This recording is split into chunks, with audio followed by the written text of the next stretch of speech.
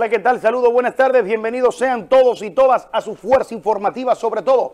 Aquí estamos, gracias a Dios, con nuestro compromiso y la firmeza diaria para informarle de todo el acontecer a nivel nacional e internacional, local, regional. Acomódese porque para hoy las noticias serán las siguientes. En el ámbito internacional, señores, nuevas protestas generan violencia en Hong Kong. Ampliaremos más adelante, ahí vemos parte del panorama, así que no se lo pierda. Celebran la independencia en México. Ahí está el mandatario, los honores correspondientes. En el ámbito nacional, Leonel Fernández asegura su contrincante es tan cogido. Veremos parte de las declaraciones de Leonel. Sepulta mujer ultimada por su hijo en Santo Domingo. A continuación también, no se lo pierda, en el ámbito local regional para hoy, denuncia. Residentes quiere Hombre quiere apoderarse de una calle en las colinas. Oh Dios, a continuación, no se lo pierda. Marino Zapete dice, Gonzalo Castillo debe estar preso. Oh Dios, ahí está. A continuación, ampliaremos también. Se entrega aquí en San Francisco de Macorís, acusado de matar policía en Tenares. Vemos las imágenes de su entrega la mañana de hoy. Habla la madre de acusado de matar policía en Tenares, que nos dice a continuación también, no se lo pierdas, sepultan jóvenes, murieron, ¿verdad? Pero primero le presentaremos este hombre que también fue sepultado, muere herido de bala por presuntos asuntos pasionales, se recupera doctor atropellado en San Francisco de Macorís, ahí está, el doctor Caramba, ampliaremos a continuación también. Luis Abinader critica funcionarios del gobierno. Coordinan campaña de Gonzalo Castillo. Ampliaremos también. Denuncian Cañada afecta salud de moradores en el sector Rivera del Jaya. A continuación. Y también en el día de hoy tendremos las imágenes de la misa de cuerpo presente de los cinco jóvenes que lamentablemente este fin de semana perdieron sus vidas en un fatal, trágico accidente en Ranchito. Estos cinco adolescentes, en la mañana de hoy estuvimos presentes porque sepultaron uno, en lo adelante también los otros en el transcurrir del día de hoy. Hoy se declara día de duelo por dos días, mejor dicho, en San Francisco de Macorís. Lamentable esta tragedia. Estas noticias y otras serán ampliadas al regreso. Acomódese porque ya inició la fuerza informativa sobre todo.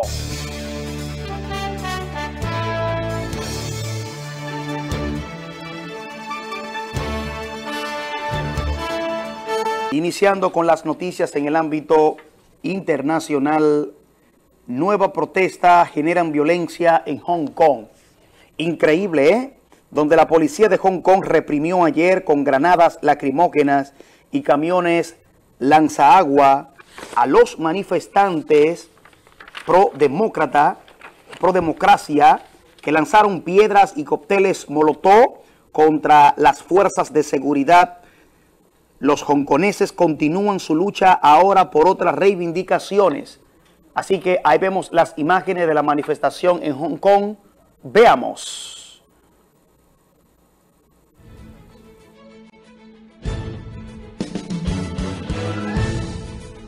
Muchas cosas han pasado en los últimos tres meses que destaparon muchos problemas antes ignorados. Siento que estos últimos tres meses han despertado a la gente de Hong Kong.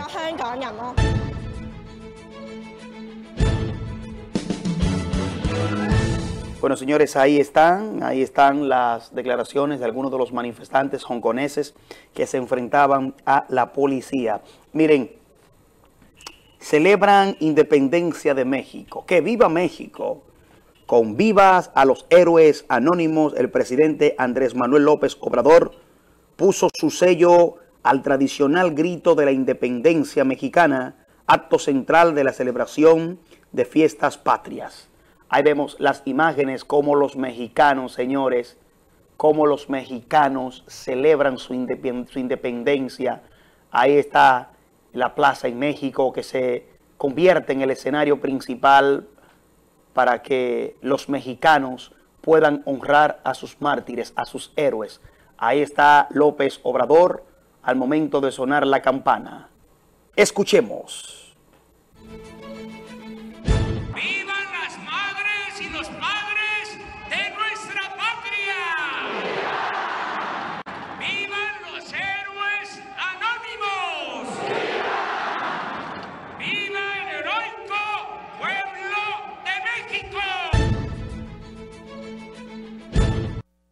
Viva México, ahí está, celebración de su independencia.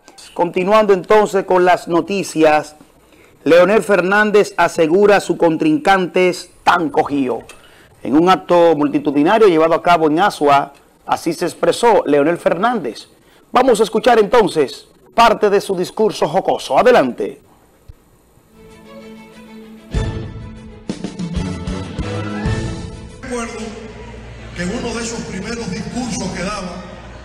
Subido en la parte, en la cama de un camión, entonces estaba hablando y había un señor avanzado en edad, pero que tenía una voz muy potente. Y cada vez que yo decía algo que él entusiasmaba, él decía, tan cogido carajo.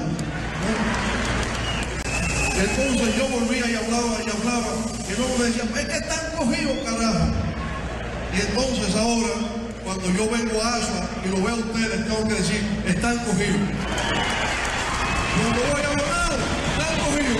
Cuando voy a están cogidos. Cuando voy a están cogidos. En San están cogidos.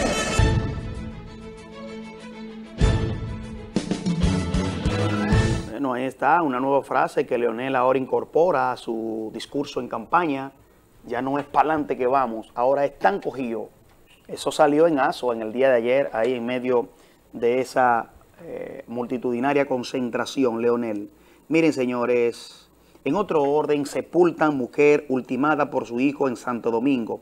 Se trata de Elisenia Félix, quien fue ultimada a tiros por su propio hijo, supuestamente por inconvenientes con una herencia. ¡Wow!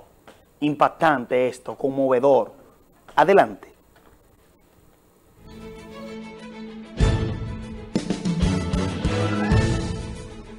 Mi sobrino amaba a su mamá. Ahorita yo lo llamé. Y él me dijo, tía y mami. Tía y mami. Entonces, él no estaba. Yo no sé si lo estoy justificando, pero yo quiero que me entiendan que a lo mejor no estaba en su caballo. En el primer caso que yo tuvieron en la fiscalía, yo estuve hablando con él. A él no le importaba que lo llevaran preso él estaba entregado, a mí no me importa que ella haga lo que ella quiera, que me meta preso, que si o cuánto, él, no le importaba nada. En un momento yo me dirigí a él, me dijo, yo no voy a hablar contigo, ustedes no son familia mía. Ellos han tenido, ellos han tenido más de ahí, porque él ha tenido problemas con vecinos por aquí, ella le ha pagado la justicia para sacarlo. Incluso a lo suspendieron de la policía y volvieron y lo metieron por ella. O sea, que ella pagó. una persona violenta. Lógico que sí, al, muchacho de ahí le, rompió, le rompió botilla y brazo, le rompió. No tengo palabras para describirla a Maggie. Eh, describo a Maggie como una persona muy alegre, muy comprensiva. Muy alegre, muy dinámica, hacíamos una rutina de baile, eh, bien, bien tranquila, muy unida, éramos todos. Justicia, donde a él le ordenaron abandonar la casa. Ella le va a entregar un dinero para, él, ella para irse de la casa. Con tres impactos por arma de fuego. Se llevó a cirugía para la revisión de las mismas, pero tocamos con la realidad de que no hubo ninguna afectación. La paciente ya se acabó la, la cirugía, está totalmente estable. Bueno, ahí está, señores. Así que una lamentable, lamentable información. Y más verdad, porque hablamos de la pérdida de una vida y tratándose de un hijo, de un hijo, señores, que le quita la vida a quien le dio la vida a él. Increíble. Vámonos al corte, señor director.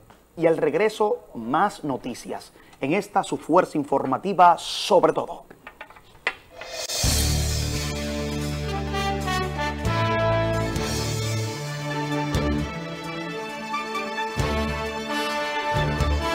Señores, denuncian residente, un residente en la urbanización Las Colinas quiere apoderarse de una calle en esa urbanización. Miren esto como esta persona ha comenzado a construir ahí, en la misma calle que comunica hacia las colinas, medio a medio a la calle principal, hay una persona que ha comenzado a fabricar, a construir una pared, mírenlo ahí, dividiendo la calle, porque él dice al parecer que le corresponde parte de la misma.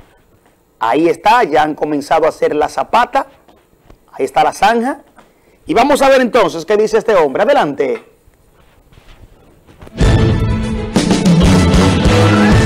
La, situación de aquí es que nosotros tenemos un promedio de más de 20 años con una intranquilidad con esa entrada. Todo el que ha comprado aquí ha comprado con que esa es una calle de doble vía. Pero ¿qué pasa? Después de un tiempo para acá, ha resultado que el señor Ramón Faustino Cueva delindó eso, no sé cómo consiguió un permiso para delindar eso, entonces ahora dice que, que la mitad de esa calle es de él. Entonces tenemos una intranquilidad de hace más de 20 años, que cada vez que estamos lo más tranquilos posible, viene un problema. Estamos rogándole a Dios que las autoridades tomen carta en el asunto, resuelvan eso, para evitar un problema, porque un día, un día llega una gente tú ves, caliente y puede pasar cualquier problema, y no queremos problema entre vecinos. No queremos problema entre vecinos. Vamos Dios que las autoridades se pongan los pantalones y resuelvan eso, a ver si sacamos de este problema. Lo más importante es que lleguen a un entendimiento para evitar, como decía él, hechos lamentables, hechos lamentables que, lleven dolor a la familia. Miren, eh, nosotros recientemente, San Francisco de Macorís está abatido por la tragedia que es de conocimiento público para todos y que más adelante nosotros estaremos ampliando. Les hablo de la muerte de los cinco adolescentes eh, antes de anoche, en la madrugada del domingo. Y esto ha conmovido a todo San Francisco de Macorís, y justamente por eso se han declarado dos días de duelo y no queremos que esto se siga expandiendo. Miren, señores, vamos a ver la posición de Marino Zapete sobre Gonzalo Castillo y sus aspiraciones. Así que vamos a escuchar al periodista comunicador Marino Zapete en su intervención en el programa El Toque del Mediodía. Adelante. ¿qué contiene? O sea, ¿qué puede, ¿qué puede encontrar la gente, qué pueden encontrar los jóvenes en ese libro? Bueno, les decía al principio que ahí ellos van a encontrar quién ha hecho qué en los últimos 60 años de vida republicana. Ellos van a encontrar cómo Gonzalo Castillo, por ejemplo, que debería ser uno de los principales imputados en el caso de Odebrecht y que califica más para presidiario aspira a presidente y con el apoyo del gobierno. Bueno, ahí está la posición de Marino Zapete. Dice que Gonzalo Castillo debe de estar preso y lo vincula también a Odebrecht. Miren, señores, se entrega en esta ciudad joven acusado de matar un policía en Tenares. La mañana de hoy se entregó ante la Fiscalía del Distrito Judicial Duarte este hombre que está siendo acusado de ultimar se trata de Emilio Francisco Cuello. Ahí está Emilio, cuando se entregó en el día de hoy a través de la Fiscalía, acusado de la muerte a tiros del eh, agente policial, del sargento de la policía, Elvis Ramos de la Cruz. Ahí está, cuando llegó a la Fiscalía, nosotros le cuestionamos cuando era trasladado hacia la cárcel preventiva y él dice que no fue él que disparó. Así que vamos a escuchar entonces brevemente sus declaraciones. Adelante. No, fui yo. ¿Y quién fue entonces? ¿El botano? ¿El botano? ¿Por qué disparó? ¿Cuándo va a comer? ¿Eh? ¿Cuándo va a comer? ¿De quién? ¿De quién? ¿De quién? De él. De él. ¿Y entonces? ¿Quién disparó? ¿Quién disparó? Él. Él.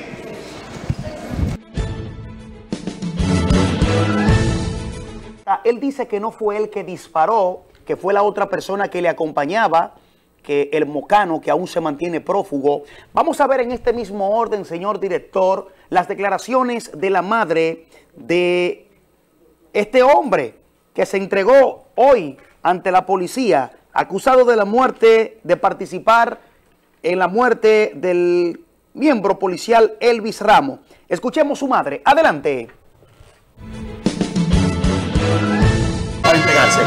Porque yo no sabía dónde estaba. Y yo le prometí, hice una rueda de prensa el miércoles, o jueves, miércoles creo. Y le prometí a la prensa y al pueblo que yo desde que supiera de, mi hijo, dónde estaba, lo iba a contactar. Y yo, como dije, que hasta lo chivateaba, porque yo no, lo mal hecho no lo apoyo.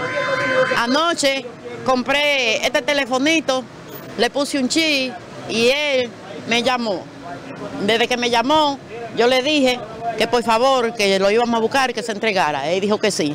Ya yo cumplí con mi parte de madre. Se entregó. ¿Qué, qué espera usted en lo adelante entonces de la justicia? Bueno, que la justicia haga su trabajo. ¿Qué le dijo él? él? ¿Qué le pudo explicar? Él dijo que, que ellos salieron a comprar una cosa y que él le dijo que fueran a buscar un dinero y que cogieron para allá.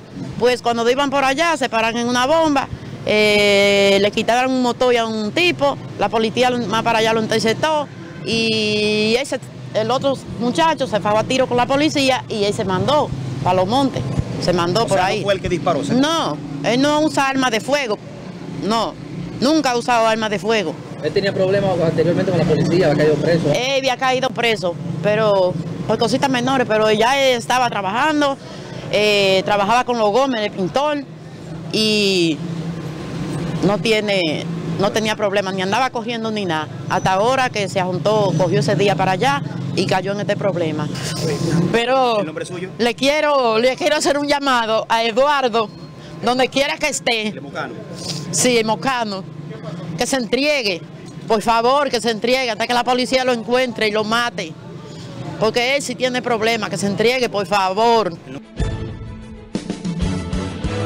Bueno, ahí escuchábamos las declaraciones de la madre de Emilio, Francisco Cuello. Emilio, quien también le exhorta a la otra persona que se dice que fue que disparó, según Emilio, se entregue. Que se entregue lo más pronto posible este mocano para que responda ante la justicia por las acusaciones de la muerte del agente policial Elvis Ramos de la Cruz ocurrida en Tenares. Miren, en este momento me visita una comisión de jóvenes estudiantes, el grupo estudiantil Felabel, encabezado por nuestro amigo Ariel Paulino. Ariel, ¿qué le trae por aquí a ustedes? ¿Qué es lo que está ocurriendo en el liceo eh, Manuel María Castillo? ¿Cuál es la situación? Bien, buenas tardes, Vladi. Buenas tardes al pueblo franco-macorizano y la región. Mira, lo que está pasando en el Manuel María Castillo es que en Alcide Santos, eh, encabezado el centro por Alcide Santos y un equipo de maestros, que no podemos decir que sean todos, pero sí una cantidad, se han prestado para querer violentar los derechos de los estudiantes en el Politécnico Manuel María Castillo, que cabe decir que solo es Politécnico de nombre. Hay un sinnúmero de irregulari- re- irregularidades y que ellos no le han dado salida. Entonces ahora se niegan a que los grupos estudiantiles hagan vida. ¿Cuáles son esas irregularidades? Ahí. Mira, por ejemplo, hay, ma- hay aproximadamente una semana con unos jóvenes que porque le han dicho que lleven cuchara y los jóvenes no lo han llevado, lo tienen cruzando un calvario, yendo a la biblioteca y privándolo de ir a las aulas. Eh, hay un sinnúmero de aulas que están cuarteadas, eh, otras reivindicaciones, ahí no hay una biblioteca moderna actualmente actualizada, entre otras, no hay un comedor estudiantil, pero hay una DP para defender que nosotros entendemos que es justo, que defiendan sus derechos como maestros. Entonces, ¿por qué quieren unos cuantos que no han podido entender que los jóvenes tienen un derecho?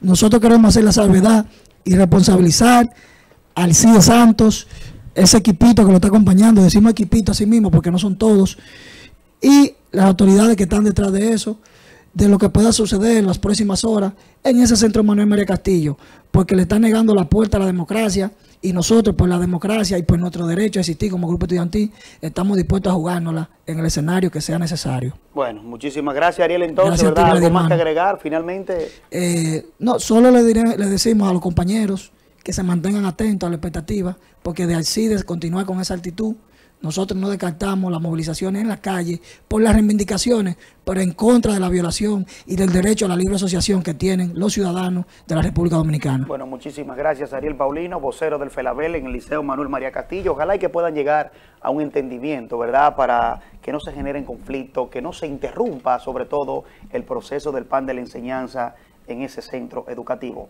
Vámonos al corte comercial, recordarles que este domingo usted tiene la gran cita a partir de las 9 de la mañana, porque aquí en el Parque José Francisco Peña Gómez, frente a Telenor, se estará realizando el Festival Origen de Música y Cultura, un evento que no te lo puedes perder, totalmente gratis, desde las 9 de la mañana hasta las 10 de la noche, presentaciones artísticas, exposiciones, eh, talleres, de todo. Usted no se lo pierda, ¿eh? 22, domingo 22, totalmente gratis frente a Telenor. Festival Origen de Música y Cultura. Invita Telenor al corte comercial y el regreso más noticias en esta subfuerza informativa. Sobre todo.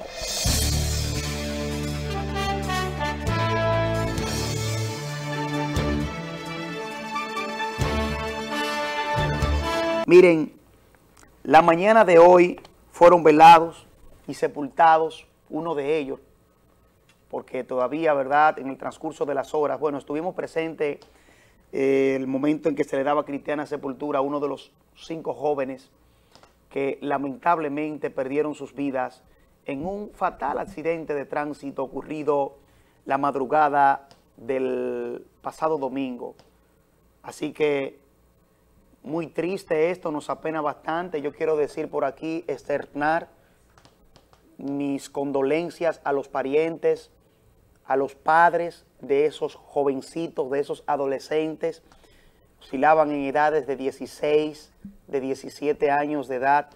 Y desde aquí yo prácticamente me pongo en la piel de esos padres, porque todos los que somos padres sabemos el dolor y lo que se sufre cuando se trata de más de un, ahí están los padres de estos niños, la doctora Yasmín de León, el doctor Miguel de la Cruz, nuestro amigo el magistrado Sulpicio Almonó, eh, ya, eh, nuestra amiga también de la revista Cara, colega periodista también, caramba, Milton, su esposo, ahí está la magistrada Eunice Ledesma, son personas que nosotros hemos tratado, personas que distinguen, que han aportado a nuestra sociedad. Ahí está nuestra amiga de la revista Cara y su esposo Milton también. Caramba, eh, quienes es difícil, es un momento muy difícil. Yo quiero desde aquí, por favor, llamar la atención de muchas personas, de mucha gente que se dan la tarea de subir a las redes sociales imágenes morbosas, imágenes que perturban, porque miren, lo que estamos generando con esto es crear morbo, crear sensacionalismo, llevar eh, dolor más a esta familia. Pónganse en su piel, pónganse en su piel porque no es fácil. Y se lo digo como, como trabajador de la comunicación, como periodista, de que no podemos seguir alimentando esto, no se siente bien. Vamos a dejar que las autoridades en lo adelante, ¿verdad?, jueguen su papel, su rol de investigar a fondo qué ocurrió en realidad, hay muchas cosas que se han estado comentando, que se han estado diciendo de cómo ocurrió esto. Hay versiones de que uno de los jovencitos le sustrajo el vehículo a su madre, ¿verdad? Le hizo creer que estaban acostados y se fue en el vehículo. Incluso el video que anda circulando donde previo al accidente se observa que ellos vienen dentro del vehículo compartiendo. Eh, el video que ha sido colgado, que ha sido incluso, ¿verdad?, difundido por todos los medios, se observa que ellos tienen ropa, pijamas, algunos, franelas, camisetas. Y es muy triste, muy triste esta situación. Paz a sus almas, que Dios le acoge en su santo seno y conformidad desde aquí para cada una de esas familias, de esas cinco familias que están destrozadas totalmente, señores. Destrozadas. Qué pena. A propósito de esta situación, que nos apena bastante. El ayuntamiento de esta ciudad, el Consejo de Regidores, ha declarado dos días de duelo, dos días de duelo para San Francisco de Macorís por este trágico acontecimiento. Ahí vemos el Consejo que se reunió en el día de hoy y vamos a escuchar a su presidente, Richard Tejada. Adelante.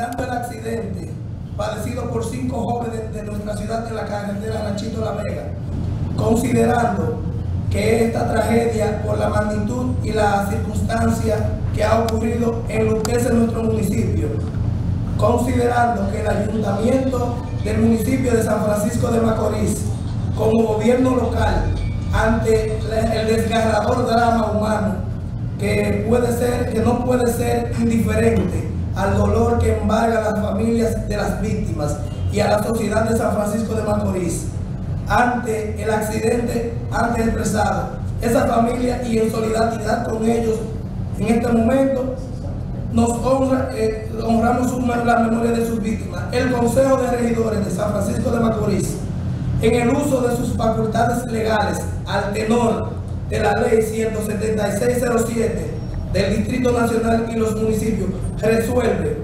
artículo único, declarar como en el efecto declara los días 16 y 17 del mes de septiembre del 2019 como Día Municipal de Duelo, dado en el Salón de, de del municipio de San Francisco de Macorís, provincia de Duarte, República Dominicana, a los 16 días del mes de septiembre del año de, 2019, año 175 de la, de la independencia, 156 de la restauración y 240 de la fundación de la ciudad.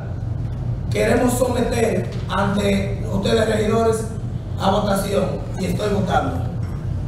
1, 2, 3, 4, 5, 6, 7. Con esto dejamos cerrados los trabajos del día de hoy. Muchas gracias. Buenos días.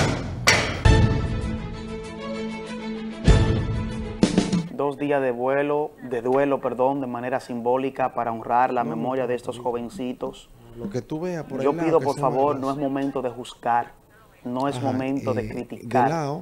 Hay, habrá tiempo para investigar, habrá tiempo para, para buscar quizá lo que pudo ocurrir y para buscar culpables pero yo creo que el momento no es el apropiado para comenzar a juzgar, para comenzar a echarle la culpa. Ya pasó, ya pasó lamentablemente, señores.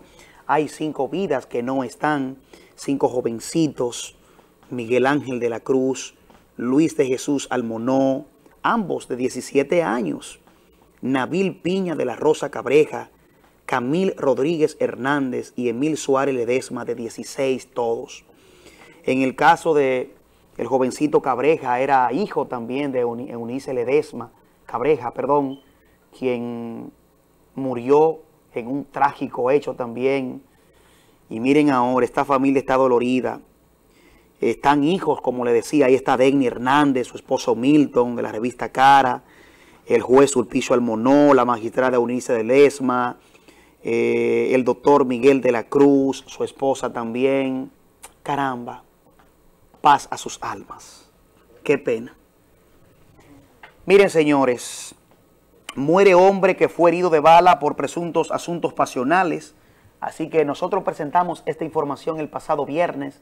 Este fin de semana esta persona murió. Así que se trata de Domingo Tavares Gabriel Edilio, de 50 años, quien permaneció varios días recibiendo atenciones médicas en el Hospital San Vicente de Paul.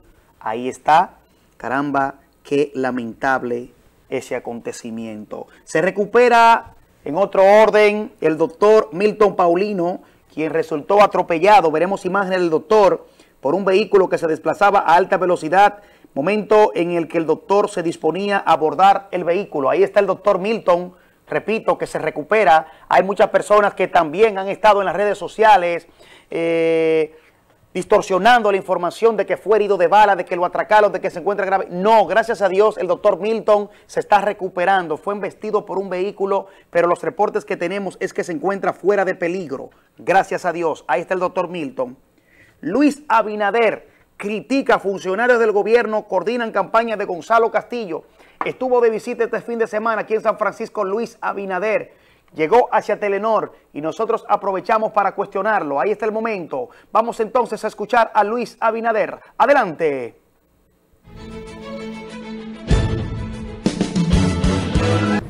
No, yo no tengo opinión sobre los candidatos del PLD. Lo que sí yo tengo opinión es de que eso no afecte al país y no afecte a las instituciones. Yo pienso que poner a los funcionarios públicos a coordinar campaña, eso, además de improcedente, además de indebido, es ilegal. Y eso no debe de hacerse. Lo que pasa es que el candidato contrario no lo puede decir porque él fue tan abusador como lo fue eh, como lo son ellos ahora. Entonces a nosotros nos toca defender al pueblo. Y hemos dicho que poner eh, a coordinar los funcionarios públicos es una barbaridad cuando tenemos hospitales que están sin medicina, cuando aquí no se realmente no se ha mejorado la educación, aún con los enormes recursos, tenemos esa gran inseguridad en las calles. ¿Y cómo tú puedes poner y que al director general de impuestos internos, al administrador del Banco Reserva, al de aduanas, que son organismos, eh, tanto aduanas como impuestos internos recaudadores, y el otro un banco comercial, ¿cómo tú lo puedes poner a coordinar campaña? Eso es improcedente. Pero está preparado Gonzalo para dirigir este país, ¿sí o no? No, yo, eso tiene que decidirlo el país. Cuando yo no, yo no opino sobre precandidatos. Cuando sean candidatos, entonces nos enfrentaremos. Posible unión con el PRD. Nosotros estamos dispuestos, todo el que te- todo el que quiera apoyar nuestra propuesta de cambio, bienvenido.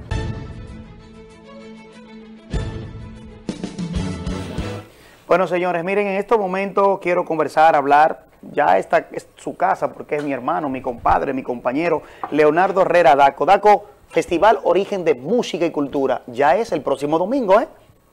Ese es el...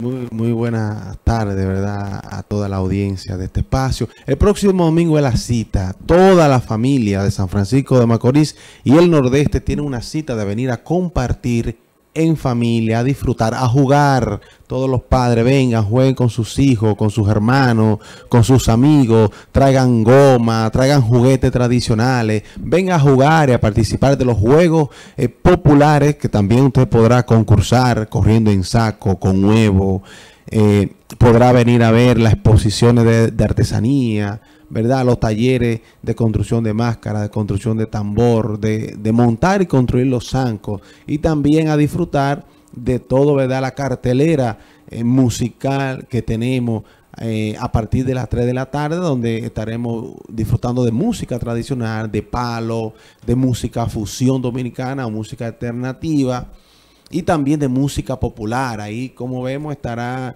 eh, banda de Palero del Domingo, Platanal. Pla- Palero. Venga a bailar palo, vengan preparados y preparadas. Venga con sus hijos, con su vecino a bailar palo. Vengan ¿Qué a- tenemos en Tarima, Leonardo, entonces, ya en la parte de bueno, en Tarima? Tarima, como hemos dicho, varias, varios grupos de palos de aquí, de, de la zona y también de otra zona de la provincia de Duarte. Eh, también tendremos música fusión Tone Vicioso, que viene de Santo Domingo, una banda excelente que fusiona música tradicional dominicana. Eh, Conuco, Conuco Band Band Root de, de Santiago, Casete Band de, de La Vega, con Conquemao eh, de, de San Francisco de Macorís, Enerolisa Núñez, que vendrá a traernos su salve, una salve que la canta a todo el país. Y también tendremos el mambólogo Giovanni Polanco.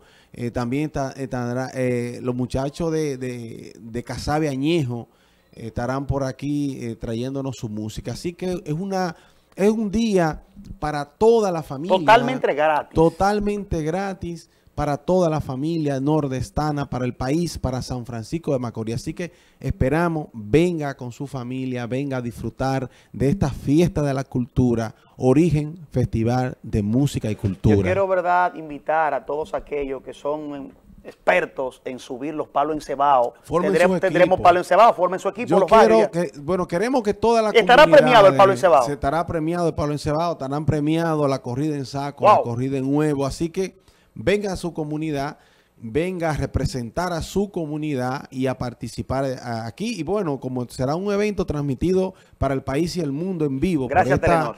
empresa Telenor que nos, que nos comunica con todo y nos abraza. Venga, represente a su comunidad y muéstrele a su comunidad lo que usted está haciendo por ella y hable de toda eh, eh, de todos los valores que, han- que hay ahí en, en- en- en su barrio, ¿verdad? Venga, eh, salte en saco, venga, súbase al Pablo Encebado, venga a los demás juegos recreativos que tenemos ahí, venga a disfrutar de los talleres y venga y traiga su juego. Hay un espacio para que usted juegue, para que usted juegue con sus hijos, con sus amigos. Ese es, la- es el momento de, de unirnos todos en estos tiempos, ¿verdad? Tan necesario volver a nosotros mismos, tan necesario Volver a ver nuestros orígenes culturales, nuestros orígenes sociales, nuestro pueblo, nuestra familia y nosotros mismos como seres humanos. Así que el compromiso es para este domingo 22 aquí, todo el día frente a Telenor, a disfrutar y a compartir en familia. Bueno, muchísimas gracias, Leonardo Herrera, el DACO,